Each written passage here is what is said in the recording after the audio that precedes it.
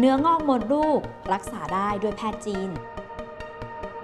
เนื้องอกมดลูกเป็นเนื้องอกที่พบได้บ่อยในทางนารีเวช โดยส่วนใหญ่เป็นเนื้องอกชนิดที่ไม่ร้ายแรง มีขนาดตั้งแต่เมล็ดถั่วจนถึงผลส้ม ชนิดและตำแหน่งที่เกิดเนื้องอก 1. ชนิดที่เกิดในชั้นกล้ามเนื้อมดลูก พบมากสูงถึง 70% 2. ชนิดที่ยื่นเข้าไปในโพรงมดลูก และ 3. ชนิดที่งอกนอกมดลูก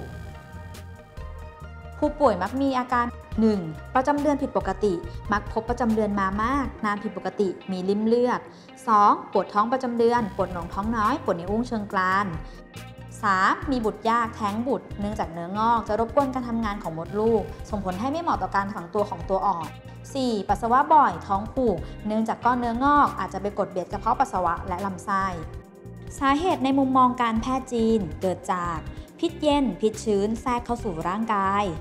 ความเครียดสะสม ส่งผลให้เลือดและพลังลมปาณบริเวณมดลูกเกิดการติดขัด ไหลเวียนไม่สะดวก จนเกิดการค้างค้างกลายเป็นเลือดข้าง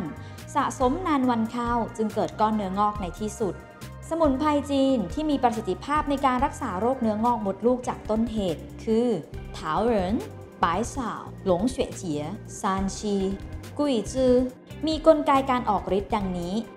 ปรับสมดุลการไหลเวียนของเลือด ลดการอักเสบ ปรับสมดุลระบบฮอร์โมน และระบบภูมิคุ้มกัน ต้านการเจริญเติบโตของเซลล์เนื้องอกมดลูก